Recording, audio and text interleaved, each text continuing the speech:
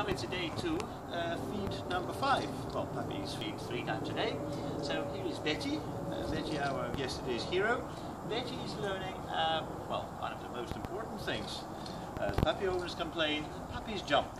You don't want puppy to stop being a puppy, you want a puppy to learn something on the top of it.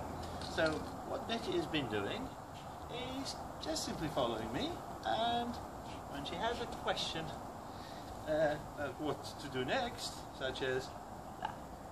She gets to be rewarded only for putting her bottom down. So nothing else pays the bills, and I was hoping that she would do a little bit of jumping today, but now she's figured out that that's a purely a waste of time. So and what's much more important is to present yourself in a proper fashion. This way. And yes, why would she want to jump? Bettie gets paid for not jumping, for yes, just that. Well, anyway, so stopping something is one job, but teaching something on the top of it, for me, is much nicer way of training. Right, let's go into the next uh, discipline, if you like. So today I'm moving about a bit and calling the dog to me. So this will be our introduction to a recall. Bettie, come. Nice. Bettie, come. Now, before I start letting my dogs off the lead in the park, they would have heard this command, well, several thousand times. And thousand times just simply build up from, I don't know, 50, uh, 70 recalls every single day. So, Bettie, come. Well, luckily, as you can see, Bettie has masses of those tiny little biscuits in her bowl, so I can deliver one of them in exchange for her joining me every single time. Bettie, come. What a star you are. Excellent. Right, so you get the picture. Bettie, come. Becomes a skill, a reflex if you like, something that she wouldn't be able to refuse when she gets a little older. Now Bettie will be practicing another important skill for the puppy. This is the very beginner stages of her stay skill. Stay. So I started postponing delivery of the reward just for a few seconds at a time. So she doesn't have to be sitting, but obviously it's a bonus. So if Bettie just waits there, I will ask her to stay or wait.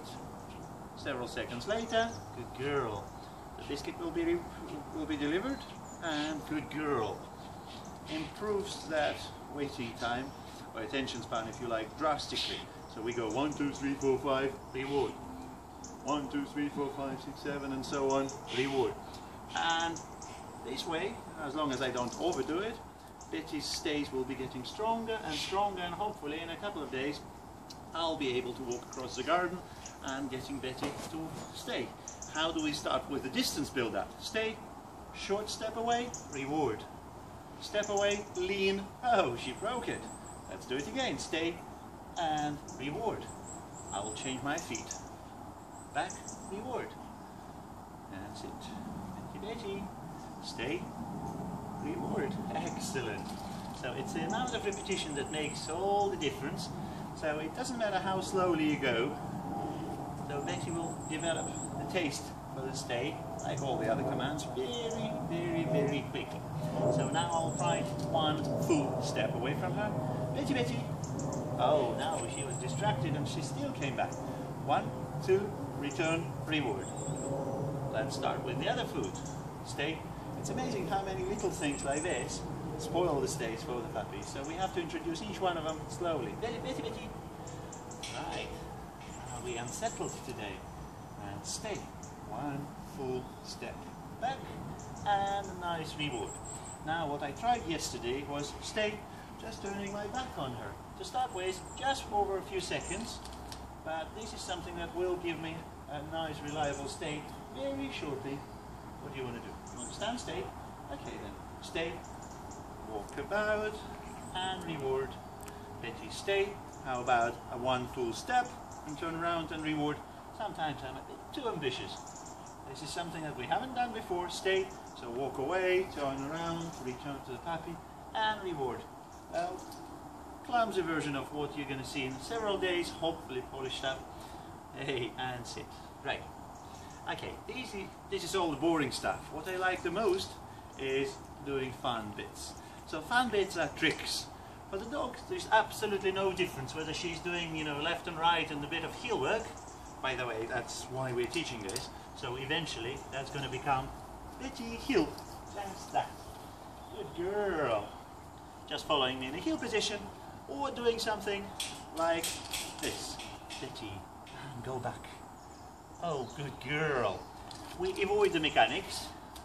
We just hide the biscuit in that blind spot, just behind the dog's chin. She doesn't have much choice but to step away in order to eat the biscuit, and that way she's learning the very advanced command back. Oh, very nice, Bettie. So we have done this before, so we don't have to go just with the little body lean. Now we can move a few steps away. Right, excellent job, Bettie. Right, and how about a little bow? Oh, I like that. And a bow. Oh, now Eve, the dog volunteers to lie down. Now we will involve the other hand. Good girl. Reward her and lure her. Good. Into that bow, having a little support. There you go. Well done, Bettie. And one more. Good dog. Bettie and bow. Oh, you don't want to do it? You don't have to. Good girl. Nice. And bow. Good girl. Well done. That will be a good start. Now, the simple exercise to lie flat can be done this way. Oh, Bettie. Yes, you want to go for the jackpot. That's coming. Down and flat. So the same way as we would encourage, yay, well done. They're going backwards. I'm trying to put it somewhere where Bettie can't easily reach. So just somewhere towards her elbow will drop her to the other side. Avoids the pushing, once again it takes away the initiative from the dog. So once we've done one side, and most dogs are not ambidextrous, we will try the other side. I usually choose to use the other hand, but you can just as well do it with one. Hey, hey. Bettie, Bettie, okay, I'll take a meaty chunk. There. How about this? And down. All the way, good girl. And down. Yes, we're getting a little bit unsettled there. So we will probably have to keep it simple. Yes. Good girl. And down. So it is a game of patience, but at the same time, you don't have to cover everything in one day. So sometimes, yes, you count your costs and you just cancel some exercises for the sake of the others. So this is something that I'm quite happy to leave until next time, and we will go into something completely different. Big, sit, they, let sit, and big. There you go. Little bag is a bag. Nice. Yes, she wants the whole thing, so let me just remove the food. Um, I'll put it away here somewhere. Good. Bettie. So, okay, less temptation, hopefully more concentration. At this stage, we don't have to deal with many temptations. And little bag. what? What are we doing? Uh, bag. Oh, I love that one.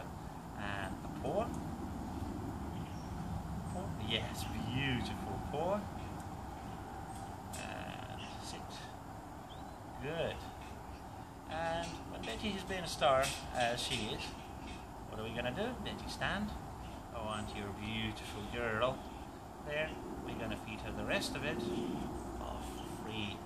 Well, anyway, you've seen the number of uh, reinforcements that she received during one meal, so it's not always essential to go for the whole bowl.